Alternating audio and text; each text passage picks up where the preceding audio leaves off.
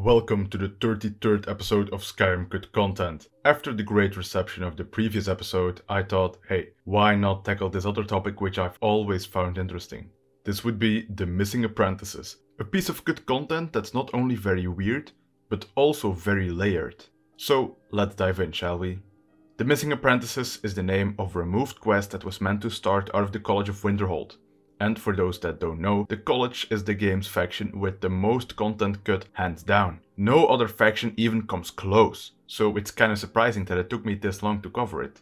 But the story of the missing apprentices doesn't really start with some cut content. No, the story actually starts with a reoccurring theme this episode and that's very baffling design choices.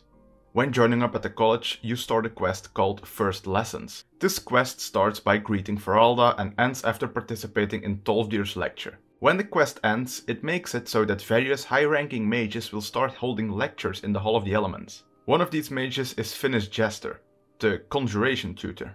Despite the title though, his lectures don't actually revolve around conjuration. Instead, they're a more general summary of things related to the college's policy. And while the majority of the lectures aren't that relevant, these two lines are peculiar. Any information as to the whereabouts of the previous group of apprentices would be greatly appreciated. As of yet, there has been no sign of them. Why? Because they're related to our unused content, of course. The first of the two lines actually has a script snippet attached that was meant to start our unused quest. Although, as you could have guessed, this script doesn't actually function as intended. It actually can't start the quest since this code isn't in line with how quests are usually started in Skyrim. The quest itself doesn't really seem to know that it's unused either, since it's partially implemented. And weirdly enough, that's gonna be a theme in this episode as well. What's supposed to happen is that the quest The Missing Apprentices, internally known as Freeform Winterhold College B, would start up. Freeform Winterhold College A is another good quest, should you be wondering. But uh, about that starting point, it just seems like a bad idea to tie it into a line that would be missable and happen in a random scene. In a perfect world, the player would be listening to Phinis and then immediately get the quest and be able to ask him about it. In reality though, the player would probably run through the hall, passing by Phinis giving his lecture and suddenly get a random quest to pop up from out of nowhere. Not really ideal. The scripting of the missing apprentices is also really bare bones. We have a quest name, yes, but very little else. All three quest stages are empty, but they do show that stage 10 was to be set when the player collected info, stage 20 would be set when at least one item was collected, and stage 200 would end the quest. There are no remaining quest objectives, and Phinis is the only NPC marked as important. But there's something else important. All of the quest's dialogue seems to have survived, which makes it very easy to puzzle the pieces back together for a change. Now, I know that some of this dialogue can appear in a vanilla game due to how buggy this quest is, but just play along with me and act like all of this is unused, it makes my life a lot easier. After hearing that some apprentices were missing, you could ask Phinis about them, and he would say, Ah, that, yes. The group prior to yours has disappeared entirely. It's possible that there was less than the necessary amount of oversight. That's still being looked into. But we've had no contact with them for quite some time now. Arniel wondered if perhaps they'd somehow managed to get themselves lost in the Outer Realms. But I think that's giving them too much credit. Then there would have been two questions you could have asked Phinis. Either where could they have gone? To which he would reply, I'm not sure. None of them were working on anything terribly dangerous. Or you could ask, how long have they been missing? To which he would say, I hadn't really considered it in terms of time. I suppose it's been at least a month.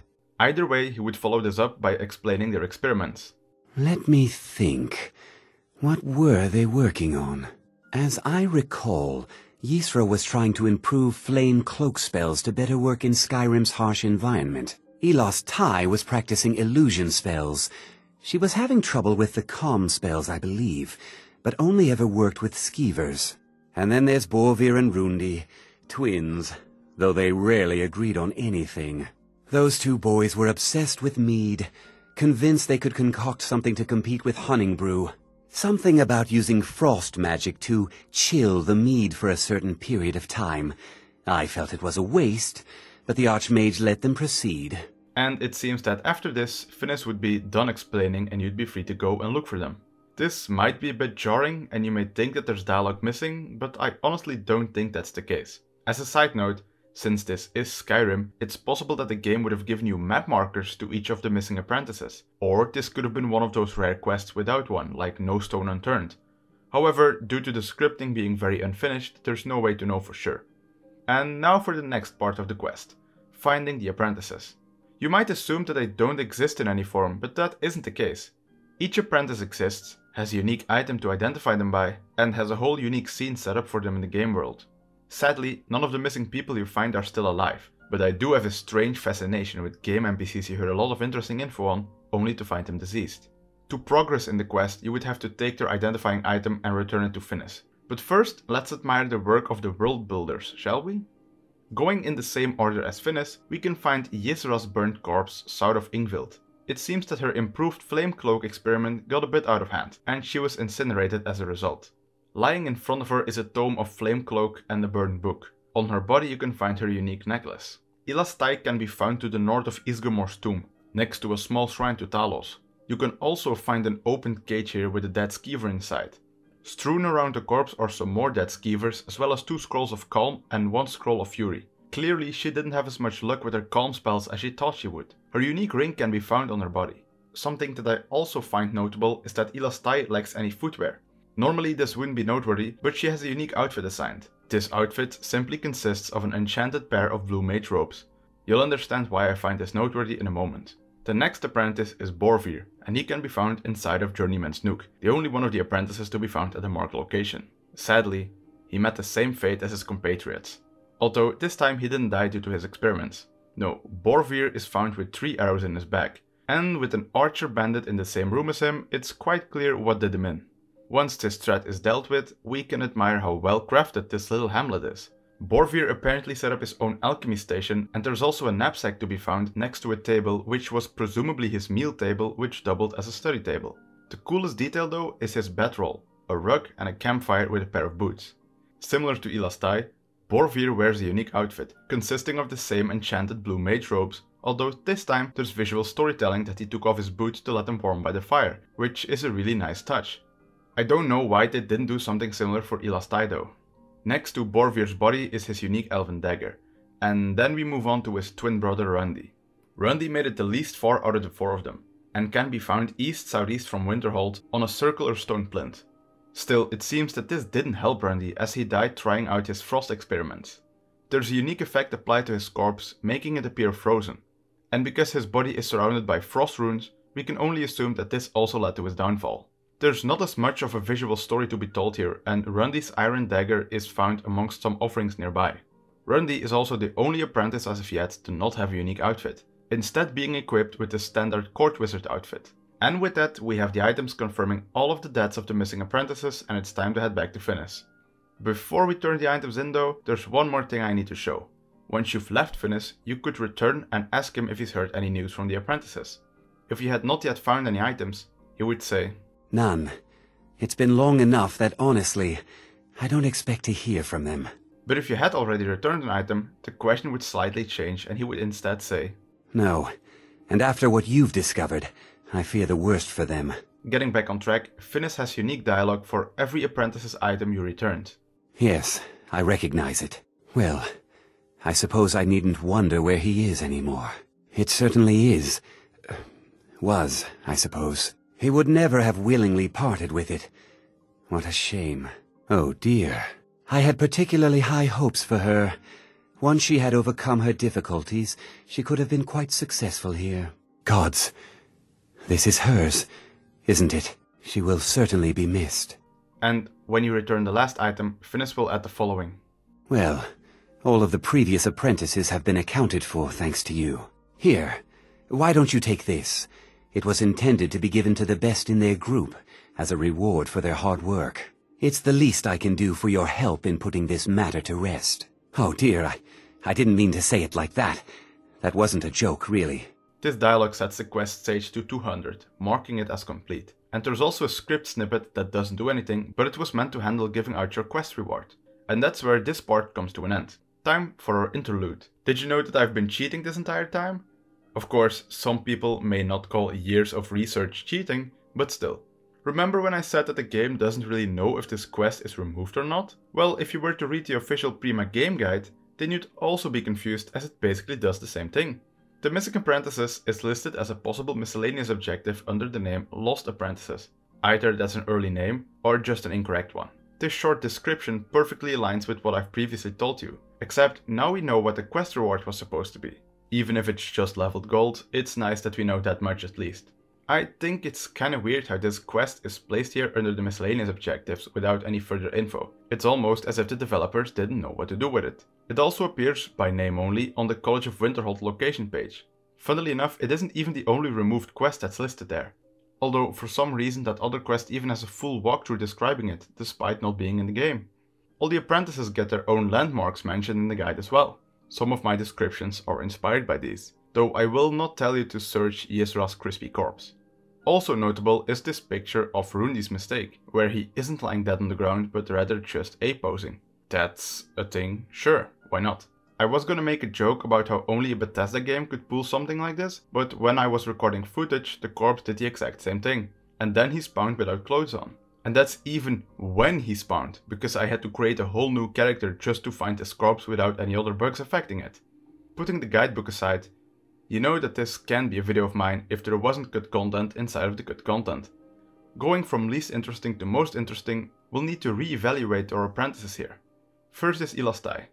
Something you may have noticed is that both me and Phinis have referred to her as female, but the body we find is that of a male Argonian. Is that a mistake, or is it just something they hadn't managed to change in the dialogue yet? We'll probably never know. Ysra is far more interesting. We actually never encounter her in the form of an NPC. This burned body is actually just a container in game terms. However, there does exist an unused NPC form of Ysra. She wears the exact same outfit as Rundi and carries her necklace in her inventory, as well as an iron dagger, but that's not really noteworthy. What is noteworthy is the fact that her body uses the same unique frozen effect that Rundi's does in the final game. So, was Ysra originally meant to be found frozen to death? One thing is for sure, Rundi wasn't. And Borvir wasn't meant to be dead either. Yeah, wanna see something jarring? These are the AI packages attached to their respective corpses.